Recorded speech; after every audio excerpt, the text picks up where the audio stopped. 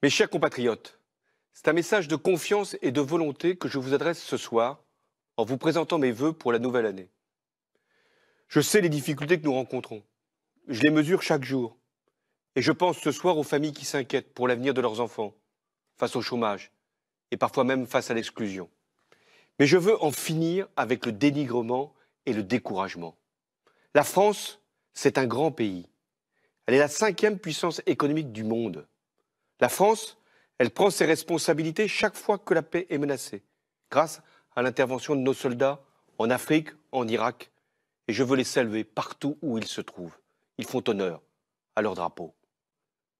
Nous avons donc toutes les raisons d'avoir confiance en nous, mais à une condition avancer, faire preuve d'audace, refuser le statu quo, écarter la régression. J'ai fait le choix de l'avenir, tout en restant fidèle aux valeurs de la République et à notre modèle social. La France n'est pas une nostalgie, c'est une espérance. Mon devoir, avec le gouvernement de Manuel Valls, c'est de tout faire, tout entreprendre pour préparer la France de demain, de tout donner pour notre pays. Je crois à la persévérance, à la constance, au travail dans la durée.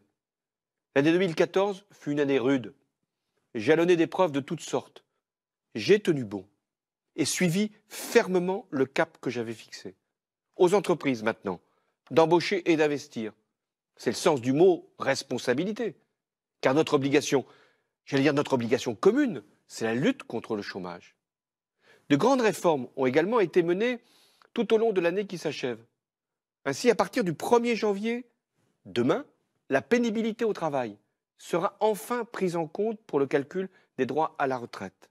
Or, avec la loi que va présenter le ministre de l'économie Emmanuel Macron, dès le mois de janvier, elle va libérer les initiatives, casser les rentes, libérer les énergies, l'activité, développer l'emploi, simplifier la vie des entreprises tout en protégeant les salariés.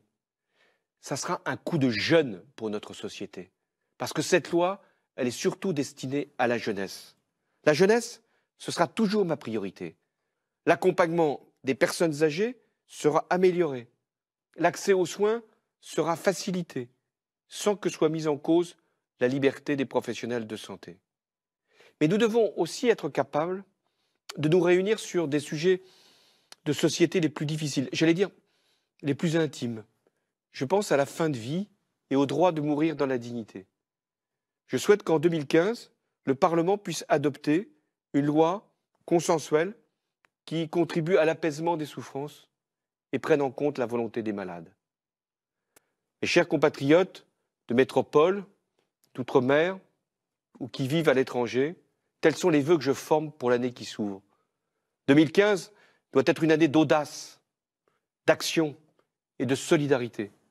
Et j'ai une pensée particulière pour euh, les plus fragiles ce soir, pour les personnes seules, pour les démunis et pour toutes les victimes des drames qui euh, se sont produits ces derniers mois. Mais mon message, c'est celui de la confiance, confiance en nous, confiance dans toutes les forces de notre pays, confiance dans notre vitalité. Et c'est pourquoi je peux dire ce soir, vive la République et vive la France.